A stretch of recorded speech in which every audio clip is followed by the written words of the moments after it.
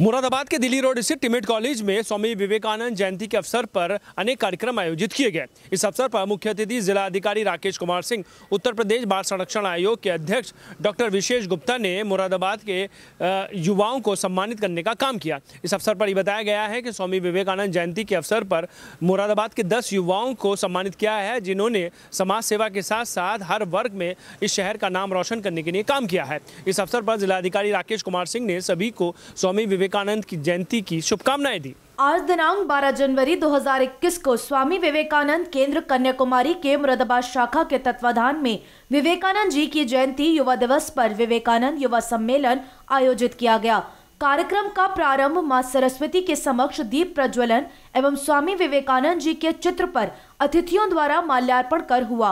कार्यक्रम की प्रस्तावना रखते हुए मुरादाबाद शाखा के संरक्षक डॉक्टर राजीव कुमार ने बताया कि स्वामी विवेकानंद केंद्र की स्थापना उसी शिला पर की गई है, जहाँ पर स्वामी विवेकानंद ने तीन दिवस तक ध्यान किया था।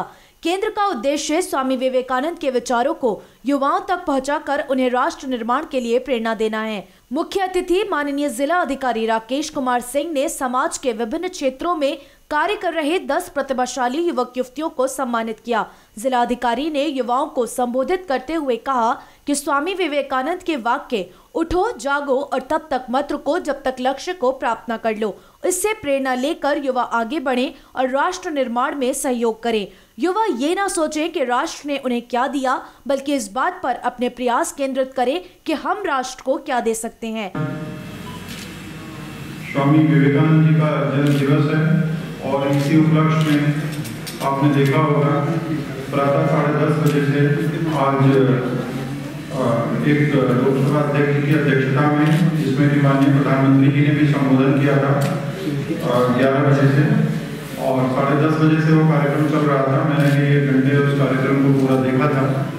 तो आज वो एक युवा सम्मेलन का समापन था और आपने देखा होगा कि वो पहली बार लोकसभा के सेंट्रल हॉल में हुआ था और उसमें बहुत सारे युवाओं ने भाग लिया था। आप, हम आप सभी स्वामी विवेकानंद जी के जीवन परिचय से भली भांति वाकिफ हैं।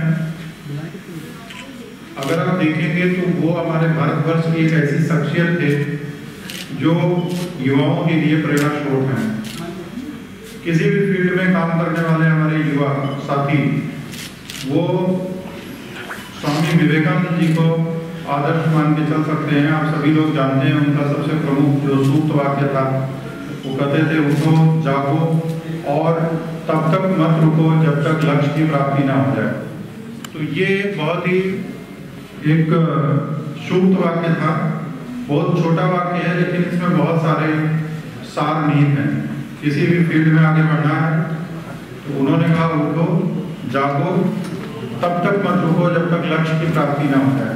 बहुत सीधा सा संबोधन है, कोई इसमें इतना कठिन शब्द नहीं है, लेकिन एक एक शब्द में जो है जोश भरा हुआ है।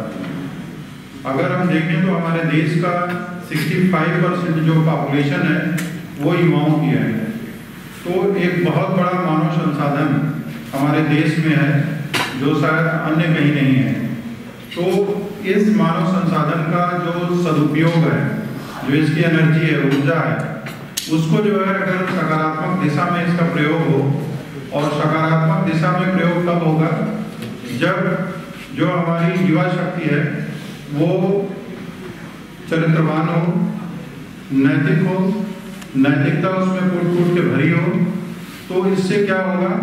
एक बहुत ही समाज का प्रखर व्यक्ति पैदा होगा।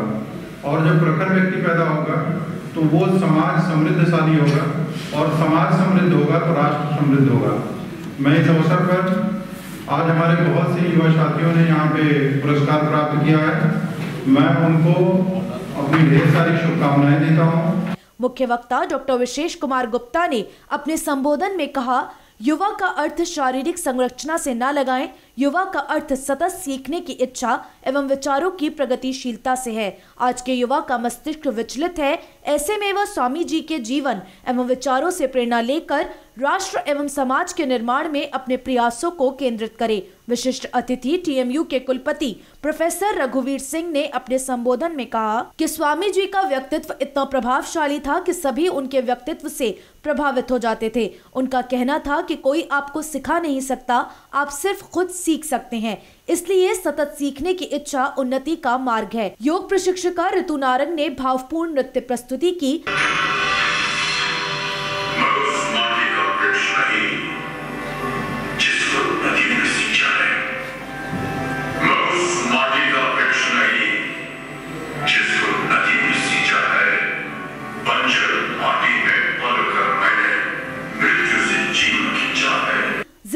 अधिकारी महोदय द्वारा कार्यक्रम में समाज सेविका शिल्पी सैनी, पर्वतारोही विपिन सैनी, खेल जगत से अभिनव सिंह, मेधावी छात्र गौरव सैनी, रक्तदान के क्षेत्र में अभिनव भटनागर, सिविल डिफेंस से दीक्षांत चौधरी, एनसीसी से अंजलि सोलंकी, व्योम त्रिपाठी, पर्यावरण के क्षेत्र में सुनील यादव, योग के क्षेत्र में कशिश चौहान को विवेकानंद युवा सम्मान से सम्मानित किया गया। आज के इस कार्यक्रम का आयोजन विवेकानंद केंद्र कन्याकुमारी की मुरादा शाखा मुरादाबाद शाखा के तत्वाधान में आयोजित हुआ। आज हम सब लोग जानते हैं कि स्वामी विवेकानंद जी की एक जयंती पूरा देश मना रहा है, जिसको हम राष्ट्रीय युवा दिवस के रूप में आयोजित करते हैं। तो आज इस दिवस पर, पावन दिवस पर हमने ये तय किया कि अपने मुरादाबाद महानगर में विभिन्न क्षेत्रों में जो युवा कार्य कर रहे हैं, कोई समाज सेवा कर रहा है, कोई चिकित्सा के क्षेत्र में है, कोई पर्यावरण के क्षेत्र में है, कोई मेधावी छात्र है, कोई खेल के क्षेत्र में ऐसे विभिन्न क्षेत्रों से जुड़े हुए हमने अपने 10 युवाओं को और युवतियों को यहाँ पर आज सम्मानित करने का कार्यक्रम किया है। कार्यक्रम के अंत में टिमिट के प्रिंसिपल विपिन जैन ने सभी वक्ताओं एवं अतिथियों का आभार व्यक्त किया। कार्यक्रम का कुशल संचालन कुलदीप सिंह ने किया एवं संयोजन प्रशांत शर्मा एवं लावेश अग्रवाल ने किया। कार्यक्रम में मुख्य रूप से सतीश अरोड़ा, अनुपेंद्र सिंह, प्रशांत शर्मा, नीलू ऋतु नारंग अजय नारंग, पूनम चौहान आदि उपस्थित रहे। ये आज विवेकानंद जी के जयंती पर हमने कार्यक्रम आयोजन किया, जिसमें विवेका केंद्र, विवेकानंद केंद्र के राजीव जी ने प्रोग्राम आयोजित किया, जिसमें युवाओं का सम्मान किया गया। साथ ही जिला अधिकारी महोदय ने हमारे उत्साह, हमारे छात्रों का उत्साहवर्धन किया।